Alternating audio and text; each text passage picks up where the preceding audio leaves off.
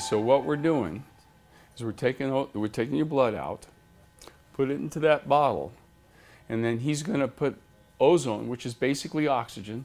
It's high-powered oxygen. Normally, oxygen is two atoms. Ozone is three. That means it's got more power to it. When that three-atom oxygen, called ozone, interacts with your blood, it changes the way the blood works. So in medicine, we call this a biological response modifier. It modifies the way y- the cells in your body work. It's kind of like exercise in a way.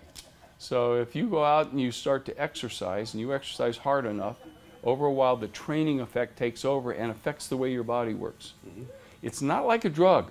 A lot of people think of ozone as being like a drug. It's not really a drug. It's more like a vaccine if I had to compare it to something, uh, because it, it is not really uh, you know having a, a direct medical effect. It's changing the way your body responds. It's a biological response modifier. That explains what, what, what doctors have such a difficulty with, and that is the biggest question is number one, how can this stuff be so good? And number two, more amazingly, how can it be so good in 40 different things? And like everything. Yeah. How can I virtually give ozone to every patient I see almost? Whether they have autoimmune disease, whether they have cancer, whether they have cardiovascular disease, whether they have migraines, whether they have diarrhea, whatever they have, I give them ozone, they get better. How is that possible? It's not possible if it's a drug.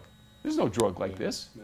And, and doctors and sometimes patients, they think of it as like a drug, and it doesn't make sense to them.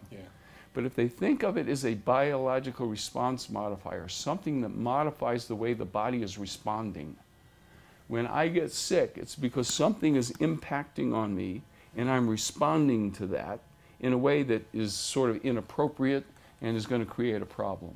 Mm-hmm. And, and what, what ozone does is it changes the way the body responds. There's all kinds of biochemistry, there's physiology, all kinds of explanations we can give to further explain that. But in essence, that's the bottom line. That's why it works and that's how it works, is by changing the way your body responds. And the fascinating thing is, I give ozone to you, I change the way your body responds this way, I give the same ozone to another guy, I change the way his body responds in a different way. Yeah.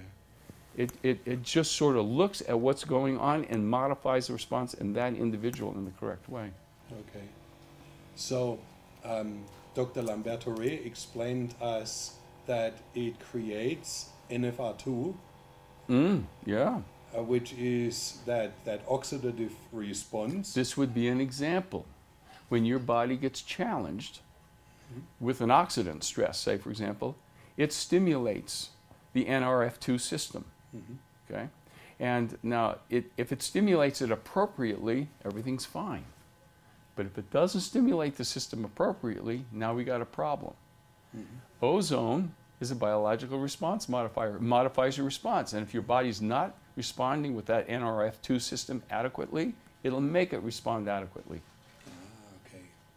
Whatever it's supposed to do, it makes it do it better. Yeah.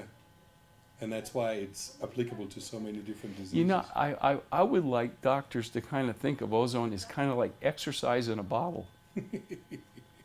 exercise in a bottle, because if, if, you, if you go look up exercise and various diseases, you'll find out that there are studies that very clearly show that exercise will prevent almost every disease there is. Mm-hmm. Yeah. Well, it's like that. Exercise is a biological response modifier. Yeah. You know, if my sick patient came in and I could tell him, listen, go start running marathons, I'd probably make him well. Mm-hmm. But he can't do that. So this is what we do, and this is why it works. Well, without the side effects, because for marathon you get sick knees and all sorts of Yeah, yeah, problems, well, so it's probably less. But you get the idea, though. Yes. Yeah, Yeah, yeah, yeah. yeah, yeah. And what is see? A lot of people always are worried. Like, can I take too much? We can take too much homeopathic. We can take too much anything. Mm. Now that multipass is a new thing. So is it? Do we know whether we overdo it? Whether we stimulate too much or not? What is your experience? You, you definitely can do it too much. You can do. you too can much. do it not enough. Yeah. You can do it too much. Dose is everything. Yeah. And that's one of the principles of medicine. No matter whether you're giving drugs or whatever you're giving, the dose is critical. Yeah. If you give too small a dose, it doesn't work. Give too large a dose, you're going to have problems. Mm-hmm. This is true of ozone as well. And there are going to be some cases where very high doses are needed Mhm. and a small dose is not working, and other cases where you better should use the small dose and the high dose is not a good idea. Okay. And this is what, what we need to learn more about. Yeah. And when you talk about small dose, you also talk about um, the minor autohemotherapy and, and rectal insufflations and things like that. Well, you can get a lot, of, you can get a very large dose with a rectal insufflation. Yeah. You get a tiny little dose with a minor, right? A Yeah. minor, you get a very small dose.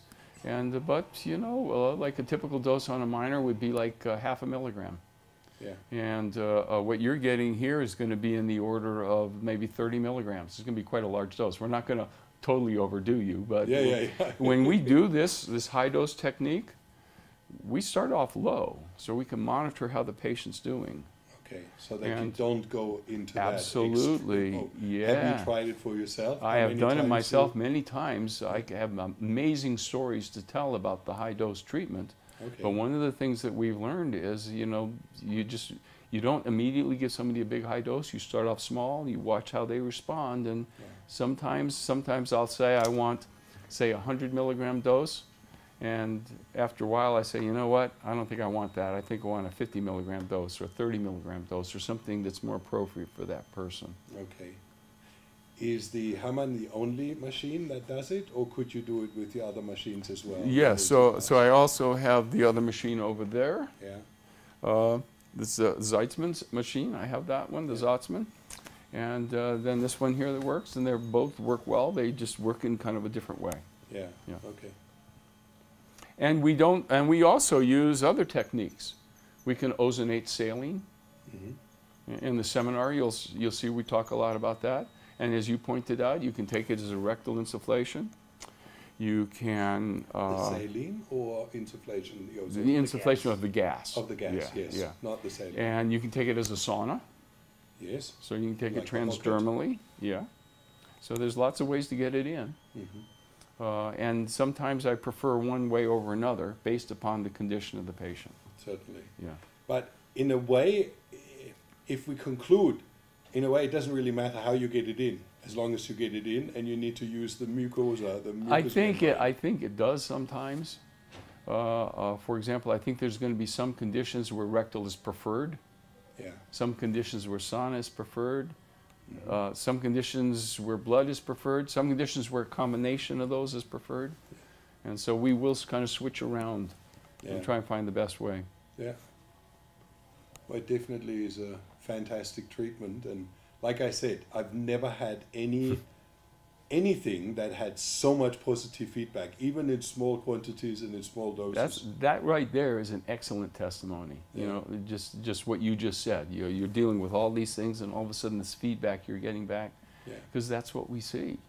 You know, I teach all these doctors how to do this treatment, and I mean, they'll call me back and they'll say, "I can't believe this.